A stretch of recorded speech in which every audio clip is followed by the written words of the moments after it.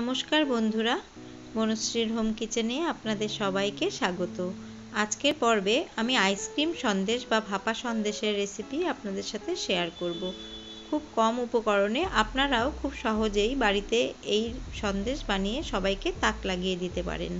দেখে নেওয়া যাক আমার আজকের এই রেসিপিটি এর জন্য এক লিটার দুধকে আমি গ্যাসে বসিয়েছি।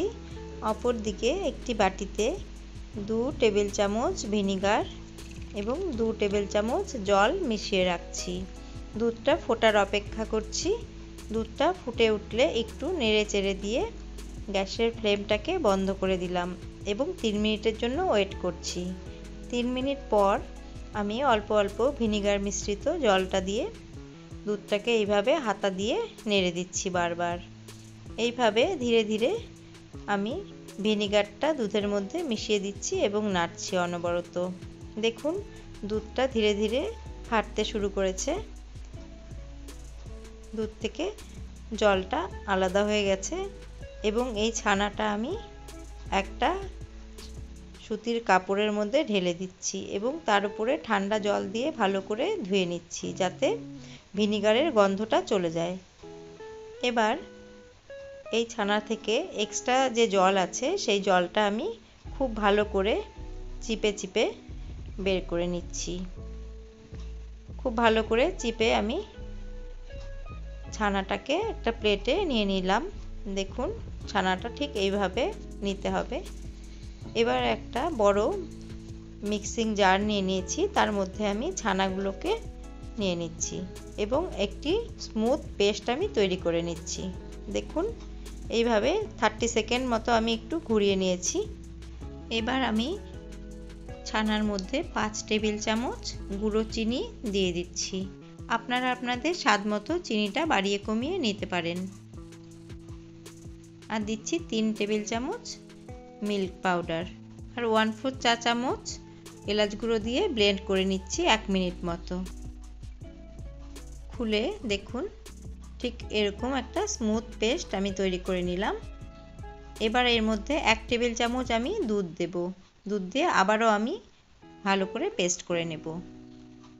রেডি হয়ে গেছে আমার পেস্ট আপনাদের যদি বেশি ঘন মনে হয়, আপনারা আরেকটু দুধ মেশাতে পারেন। একটা কন্টেনার নিয়ে নিয়েছি। তার মধ্যে আমি অ্যালুমিনিয়াম ফয়েল লাগিয়ে নিচ্ছি। অ্যালুমিনিয়াম ফয়েলটা লাগানোর পরে ঘি গ্রিস করে নিচ্ছি। এবার সন্দেশের যে মিক্সটা আমি তৈরি করেছি, সেই মিক্সটা এর মধ্যে দিয়ে দিচ্ছি।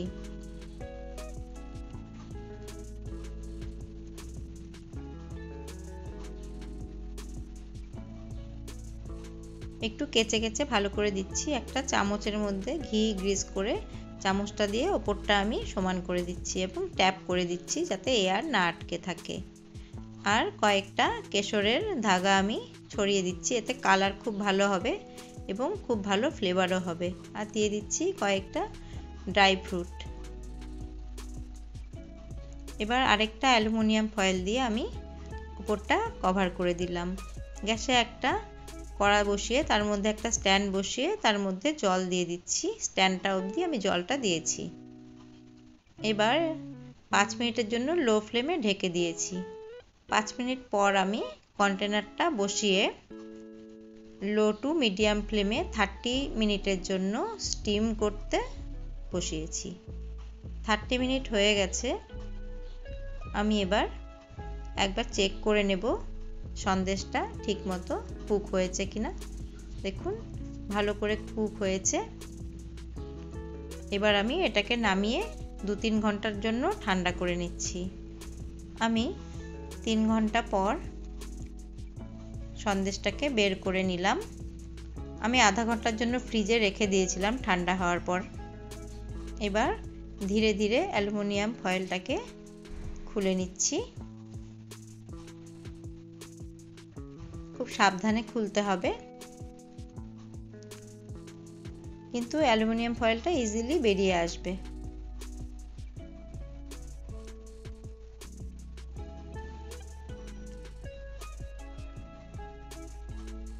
দেখুন, কত সুন্দর হয়েছে। এবার আমি আমার মন মতো আমি পেস করে নিচ্ছি। আপনারাও বাড়িতে দিওয়ালিতে এই সন্দেশ বানিয়ে সবাইকে তাক লাগিয়ে দিতে পারেন। আর আপনাদের ভিডিওটি ভালো লেগে থাকলে সাবস্ক্রাইব, লাইক এবং শেয়ার করতে ভুলবেন না। আর পাশে থাকা বেল আইকনটি প্রেস করে দেবেন, কারণ আমি যখনই নতুন কোনো ভিডিও আপলোড করব, আপনাদের কাছে নোটিফিকেশান পৌঁছে যাবে। আমি সার্ভ করে দিলাম আমার ভাপা সন্দেশ বা আইসক্রিম সন্দেশ। আপনারা আপনাদের যে কোনো পছন্দের ফ্লেভার এর মধ্যে দিতে পারেন। আর বন্ধুরা, ভালো লেগে থাকলে বন্ধুদের সাথে এবং আত্মীয় পরিজনদের সাথে অনেক অনেক শেয়ার করবেন। আবারও আমি হাজির হয়ে যাব অন্য কোনো নতুন রেসিপি নিয়ে। ভিডিওটি দেখার জন্য আপনাদের অনেক অনেক ধন্যবাদ।